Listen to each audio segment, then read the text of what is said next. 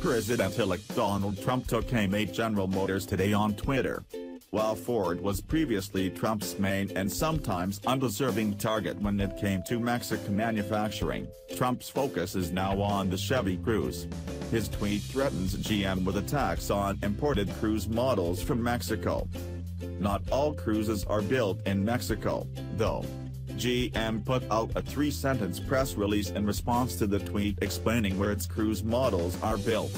While the Cruze hatchback is built in Mexico for both U.S. and global markets, every single sedan sold in the U.S. is built in Lordstown, Ohio, Ohio. President-elect Donald Trump took aim at General Motors today on Twitter. While Ford was previously Trump's main and sometimes undeserving target when it came to Mexican manufacturing, Trump's focus is now on the Chevy Cruze. His tweet threatens GM with attacks on imported Cruze models from Mexico. Not all Cruzes are built in Mexico, though. GM put out a three-sentence press release in response to the tweet explaining where its Cruze models are built. While the Cruze hatchback is built in Mexico for both U.S. and global markets, every single sedan sold in the U.S. is built in Lordstown, Ohio, Ohio. President-elect Donald Trump took aim at General Motors today on Twitter. While Ford was previously Trump's main and sometimes undeserving target when it came to Mexican manufacturing, Trump's focus is now on the Chevy Cruze. His tweet threatens GM with attacks on imported Cruze models from Mexico.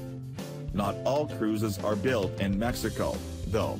GM put out a three-sentence press release in response to the tweet explaining where its Cruze models are built. While the Cruze hatchback is built in Mexico for both U.S. and global markets, every single sedan sold in the U.S. is built in Lordstown, Ohio, Ohio. President-elect Donald Trump took aim at General Motors today on Twitter. While Ford was previously Trump's main and sometimes undeserving target when it came to Mexican manufacturing, Trump's focus is now on the Chevy Cruze.